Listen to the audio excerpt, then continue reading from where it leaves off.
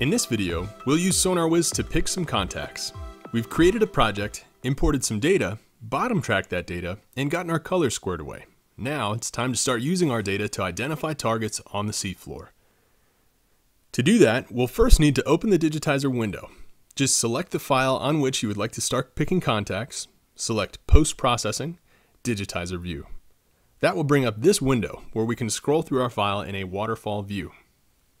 Then, as we come across items of interest on the seafloor, I'll click this icon in the top right portion of the GUI, which turns my cursor into this pointer, and I'll pick a contact.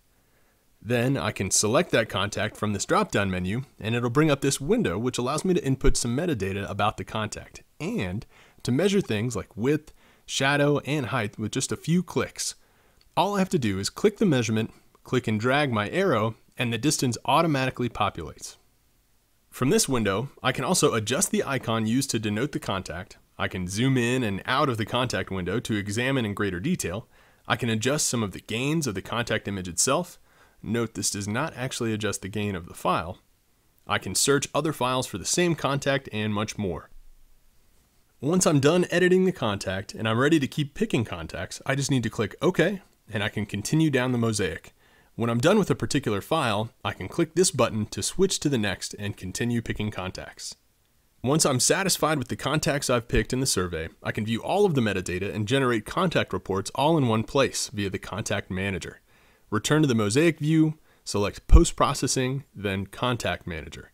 Here, we can see some of the metadata, we can control whether or not a contact is displayed on the mosaic, and we can sort contacts by name or file, or even build a custom filter using our filter engine. Perhaps the most useful aspect of the Contact Manager is the ability to generate reports. Simply click Report Generator and you'll bring up this report wizard. I'll stick with the default data options. I'll choose PDF format and then click Finish. And just like that, I have a PDF report of all of my contacts, which I can send out to anyone via email or upload to a website. And while I'm here, I'll also create an HTML version of the contact report for later use. For more info on all you can do with contacts in SonarWiz, search for Contacts in the user guide. Thanks for watching.